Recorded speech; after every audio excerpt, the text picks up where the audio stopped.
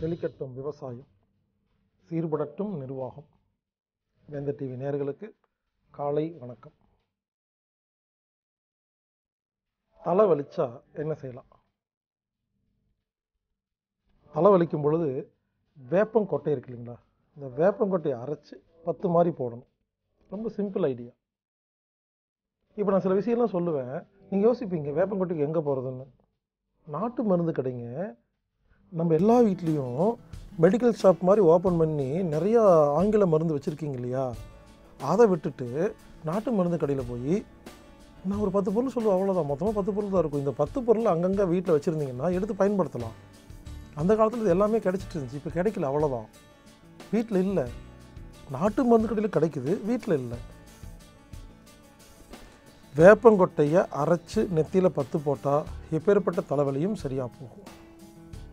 அடுத்தது தொண்டையில் சளி இருந்தால் என்ன செய்கிறது அப்படின்னு கேட்டால் தொண்டையில் சளி இருந்தால் கண்டங்கத்திரி சாறு குடிங்க. தொண்டை சளி சரியாக போயிடும். நெஞ்சில் சளி இருந்துன்னு வச்சுங்களேன் நெஞ்சு சளிக்கு தூதுவலை இருக்கு இல்லைங்களா? தூதுவளை இலை. அந்த தூதுவளை இலையில ரசமோ வேகியமோ பொடியோ ஏதாவது ஒன்று சாரோ இல்லை துவையலோ தூதுவலை வந்து நெஞ்சு சளிக்குங்க. தொண்டை கண்டங்கத்திரி வேர் இதை மட்டும் ஞாபகம் வச்சுக்கோங்க. அடுத்தது இந்த கை காலெல்லாம் வீங்குது. சில பேருக்கு கால் வீங்கி இருக்கும் மூட்டு வீங்கி இருக்கும் தொடவி உடம்பு எங்காவது வீக்கம் இருந்தால் நாட்டு மருந்து கடைக்கு போங்க. கனை எண்ணெய்னு கேளுங்க கொடுப்பாங்க. கனை எண்ணெய் வாங்கி பயன்படுத்துங்க. வீக்கமெல்லாம் சரியாக போயிடும் அடுத்தது வயிறு உப்புசமாக இருக்குது ஜீரணம் ஒழுங்கு ஆகலை. வயிற்று உளைச்சல் அப்படின்னு சொல்லுவாங்க. வயிறில் எந்த ஒரு ப்ராப்ளம் வந்தாலும் வெத்தலையில் சுண்ணாம்பை வச்சு மடித்து ஒன்று வாயில் போட்டு கண்ணை மூடி நல்லா மென்று சாப்பிட்ருங்க வெத்தலையும் சுண்ணாம்பும் சேர்ந்துச்சுன்னா வயிற்றில் எப்பேற்பட்ட ஒரு பிரச்சனை இருந்தாலும் தானாக சரியாக போகும். அடுத்தது காய்ச்சல். அது டெங்கு காய்ச்சல் சிக்கன் குனியா மட்டன் குனியா சில்லி சிக்கன் குனியா இந்த மாதிரி எந்த குனியாவாக இருந்தாலும் சரி எந்த டெங்குவாக இருந்தாலும் சரி எட்டு மிளகு நாலு வில்வ இலை. நாலு வில்வ இலையில எட்டு மிளகை வச்சு மடித்து வாயில் போட்டு கண்ணை மூடி நல்லா பொறுமையாக நல்லா மென்று ஒரு சொம்பு தண்ணி குடிச்சிருங்க. எப்பேற்பட்ட காய்ச்சலும் ஒழுங்காக சரியாக போகும். இது என்ன ஒழுங்காக சரியாக போகும் சொல்கிறீங்க அப்படின்னா இங்கே பாருங்க ஒழுங்கு இல்லாமல் சரியாக போயிருக்கு ஆயிரம் ஐடியா இருக்குது இப்போ காய்ச்சல் வந்துச்சுன்னு வச்சுங்களேன் நாக்கை மடித்து காற்றை எடுத்திங்கன்னா காய்ச்சல் நின்றும் ஆனால் அதாவது காய்ச்சல் ஓடி போயிடும் குணமாகாது. இப்படி மூச்சு காற்று இழுத்தீங்கன்னா காய்ச்சல் உடனே நின்றுட்டு நீங்கள் வேலைக்கு போயிடலாம் ஆனால் பாதியில் நின்றுட்டு ஒழுங்கு இல்லாமல் குணமாகும்.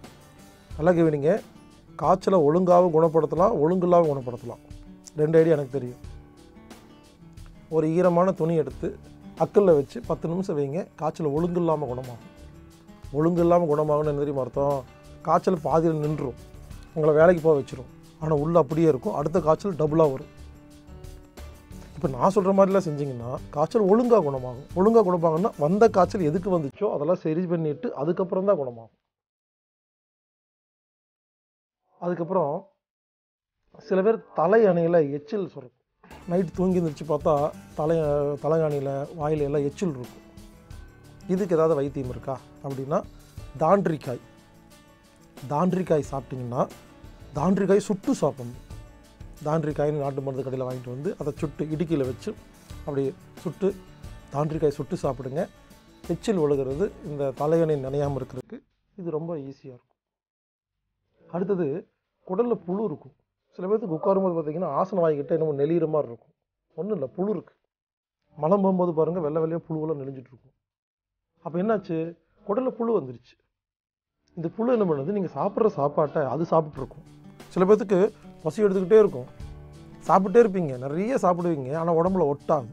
அது காரணம் என்ன? குடல புழு இருக்குது இதுக்கு என்ன செய்யணும்னா விளக்கெண்ணெய் மேனிச்சாறு வேப்பலை.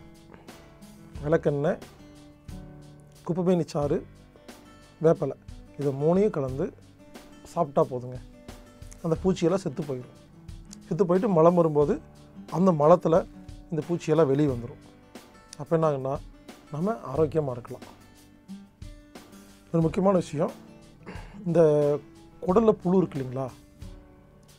அதை ஒழிக்கிறதுக்கு தயவு செய்து ஆங்கில மருந்துகள் பயன்படுத்தாதீங்க. ஏன்னா இந்த ஆங்கில மருந்து இருக்கு இல்லைங்களா? அது என்ன பண்ணுதுன்னா அதில் மெக்னீஷியம் அப்படிங்கிற ஒரு பொருள் இருக்குது அது செயற்கை முறையில் தயாரிக்கப்பட்ட மெக்னீஷியம் இருக்குது அந்த செயற்கை முறையில் தயாரிக்கப்பட்ட மெக்னீஷியம் வந்து உடம்புக்கு கெடுதல் ஆனால் இயற்கை முறையில் மெக்னீஷியம் தயாரித்து அது மூலிமா பேதி பண்ணிங்கன்னா இது நல்லது. எனவே ஆங்கில மருத்துவத்தில் இருக்கிற அந்த செயற்கை மெக்னீஷியம் உடம்புக்கு கெடுதல். எனவே அதை பயன்படுத்த வேண்டாம்.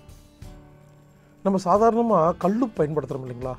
கல்லுப்பில் இரண்டு இரண்டு சதவிகிதம் மெக்னீஷியம் இருக்குது இயற்கையான மெக்னீஷியம் அப்போது பொடி உப்பு சால்ட்டுன்னு சொல்கிறாங்க இல்லையா? பொடி உப்பு. இந்த பொடி பயன்படுத்துனீங்கன்னா அதில் மெக்னீஷியம் இருக்காது. அப்போது மலம் ஒழுங்காக போகாது பூச்சியெல்லாம் சாகாது. எனவே அந்த சால்ட் அப்படிங்கிற பொடி உப்பை பயன்படுத்தாமல் கல்லுப்பு பயன்படுத்தினாவே மலம் சிறப்பாக போகும். எனவே இயற்கையான முறையில் நாம் மீண்டும் கல்லுப்பை பயன்படுத்தி விளக்கெண்ணெய் குடித்து அப்பப்போ நம்ம அந்த குடலை சுத்தம் பண்ணிகிட்டே இருக்கும் பொழுது தான் குடலில் புழுக்கள் பூச்சிகள் தங்காது. பல பேர் நிறைய சாப்பிட்றாங்க. உடம்புல ஒட்டவே மாட்டேங்குது. அதுக்கு ஒரே காரணம் உடல் இருக்கிற பூச்சி தான். எனவே எப்பொழுதுமே நாம் உடலில் பூச்சி இல்லாமல் பார்த்துக்கொள்வது தான் ஆரோக்கியம். ஒரு இட்லி சாப்பிட்டாலும் உடம்புல ஒட்டும். பூச்சி இருந்தால் ஏழு இட்லி சாப்பிடுவீங்க. உடம்புல ஒட்டவே ஒட்டாது. பசி எடுத்துக்கிட்டே இருக்கும். எனவே இயற்கையான முறையான வேப்ப இலை விளக்கெண்ணெய் இது போன்ற பொருட்களை பயன்படுத்தி இயற்கையான முறையில் அப்பப்போ நம்ம குடலை சுத்தம் பண்ணி வைக்கிறது தான் சிறப்பு. குடல் சுத்தமே தோல். இவருங்க தோலில் எந்த வியாதி வந்தாலும் குடல் தான். குடலில் பாதிப்பு இருந்தால் மட்டும்தான் தோலில் வியாதி வரும். தோல் வியாதி உள்ளவங்க குடலை மட்டும் சுத்தம் பண்ணுங்கள் கண்டிப்பாக நீங்கள் நல்லா இருப்பீங்க. இந்த மாதிரி நிறைய விஷயங்கள் இருக்குது தொடர்ந்து பாருங்கள். செழிக்கட்டும் விவசாயம் சீர்படட்டும் நிர்வாகம். மீண்டும் நாளை சந்திப்போம்.